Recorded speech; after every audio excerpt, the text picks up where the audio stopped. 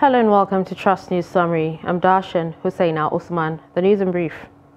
President-elect Asiwaju Bola Ahmed Tinubu has sent out a message of sympathy and consolation to traders affected by the recent fire outbreaks in Kano State. In a statement released by his media office on Tuesday, signed by Abdulaziz Abdulaziz, Asiwaju Tinubu bemoaned the inferno which affected a section of Singa commodity markets in the city on Monday, a few days after similar accidents in two other markets.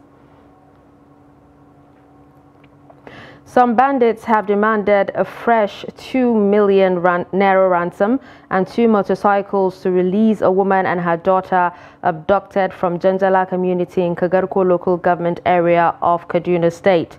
Daily Trust had reported that the bandits on February 5, 2023, invaded the victim's residence and whisked away the woman Shamsia, her husband Mustafa, and their 16-year-old daughter at gunpoint.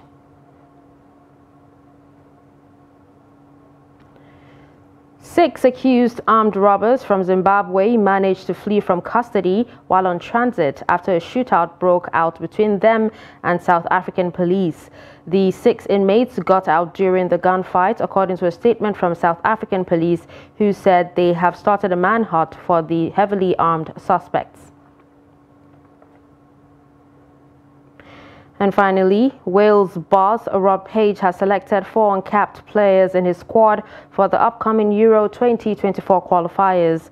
Jordan James, Nathan Broadhead and Ollie Cooper could all win first caps as could 17-year-old forward Luke Harris. And that's it on Trust News Summary. Don't forget to follow us across all our social media platforms. I'm Darshan Husseina Usman. Thanks for watching.